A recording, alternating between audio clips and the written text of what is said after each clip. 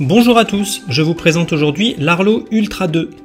Au niveau du packaging, on va donc retrouver la caméra ou les caméras, la base, appelée aussi Smart Hub, le câble de rechargement magnétique pour les caméras, un support de fixation mural ou plafond, le chargeur USB pour les caméras, le kit de visserie,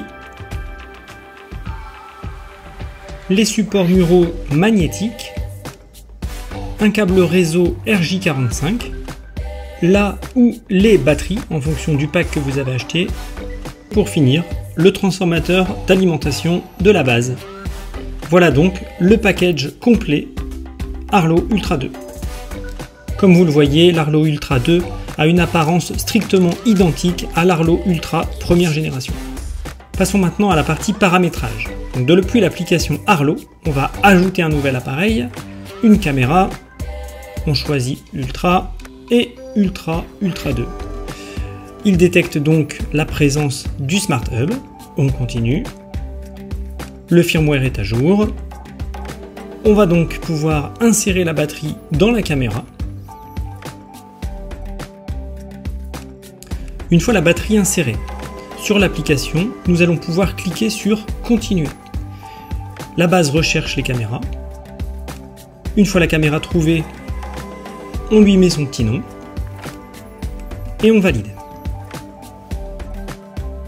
Pour finir, nous allons passer sur le positionnement de la caméra avec la puissance du signal qui va s'afficher en temps réel. Une fois la caméra positionnée, on valide et on retrouve notre caméra sur l'application Arlo. Comparons maintenant l'Ultra 1 avec l'Ultra 2. Comme vous pouvez le constater, toutes les deux affichent une qualité vidéo vraiment impressionnante. C'est absolument parfait. Si je fais un arrêt sur image et que je zoome trois fois, vous pouvez vous rendre compte du niveau de détail sur l'Ultra. Et sur l'Ultra 2, c'est pour moi sensiblement la même chose. J'ai du mal à voir une différence au niveau de la qualité. Les deux caméras sont pour moi exceptionnelles en termes de qualité d'image. Passons maintenant à la partie nocturne. Sur l'Ultra, vous voyez donc un petit aperçu, et sur l'Ultra 2. Encore une fois, pour moi, c'est sensiblement la même chose. La différence entre ces deux caméras est uniquement au niveau du Wi-Fi. La deuxième génération est en double bande 2,4 et 5 GHz. Les performances de l'Ultra 2 seront automatiquement ajustées en fonction de la distance par rapport à la base. Elle dispose aussi d'une technologie long range pour être placée plus loin qu'une Ultra, mais je ne suis pas certain que ce soit actif pour le moment en Europe. Voilà, j'espère que cette vidéo vous a plu.